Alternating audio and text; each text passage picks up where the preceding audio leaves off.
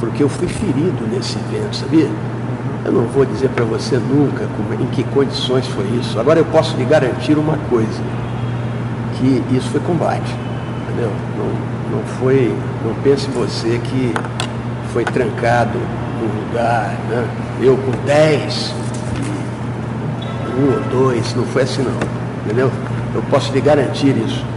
É, e eu, não sei se vocês têm conhecimento de como é um combate em selva, né? Curta distância, né?